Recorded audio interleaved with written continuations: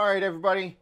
How you doing tonight? I don't expect a lot of you to actually be watching this, but I figured I would give you a live update of some things that I'm working on for future uh, purposes.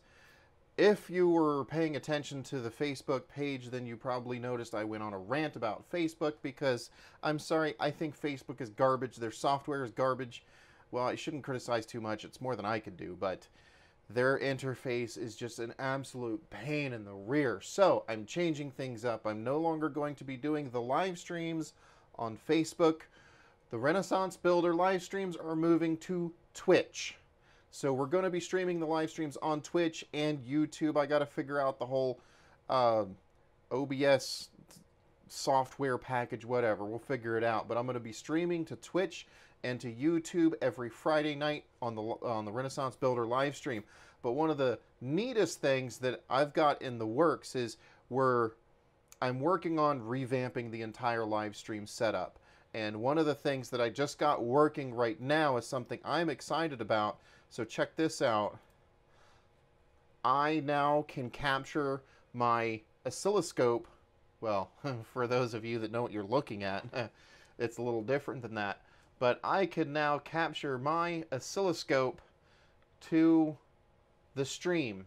So anytime we want to actually look into some electronics and we're doing testings of any sorts, you guys will be able to see it live on the screen, no goofy videography involved. So I think this is going to be interesting. For example, let me just do a little quick setup here for you. Uh, so we're going to take this down to one channel. So we're going to do traces. Let's do trace one. We want to take this out, so disable. Um, I do not want to display trace one. I do not want to display trace 3, which is trace 3 is burnt out anyhow. So, and we're going to go to trace, all right, 100 volts, Do 200 volts, that should be good. Now we exit. So, say I want to say I want to test my live voltage going on here and I want to show you guys what it's like, right? Well, I can just hook up if I don't blow myself up. And yes, the cameras are going to be different as well.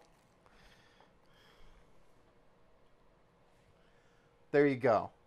That is actually not that great of a sine wave. I've seen better. But my point is, I'm going to be able to show you guys using my oscilloscope actually on the screen what it is we're working on and the voltages and you'll be able to better understand what it is, well, hopefully better understand what it is that I'm talking about. So this is exciting to me, um, being able to show you more clearly the the voltages. So this is literally the the the line voltage coming out of my outlets. Um, you know, so I can describe it. You know, this is a sinusoidal wave. You know, our peak frequency, we can go through a measure, but it looks like it's a 160 volts peak. You know, so when I tell you that your your 110 volts out of your outlet is actually a an average, a an RMS, which is root mean square of the actual signal, has to do with that curved sine wave. But I can tell you that if you multiply your 110 volts by 1.4, then you'll get 160 peak voltage. I can actually show you 160 peak voltage. So this, I think, will be more interesting. We're also going to add some cameras and some views, and hopefully I can actually not be so boring to listen to. That'll be interesting. So, just wanted to show you guys this and update you. So, keep Insight in the future, we're going to be doing the live stream on Twitch and on YouTube, and uh, hopefully it'll actually be a more entertaining event. So thank you very much, and uh, that's all I wanted to say tonight. So you guys have a good night. Bye-bye.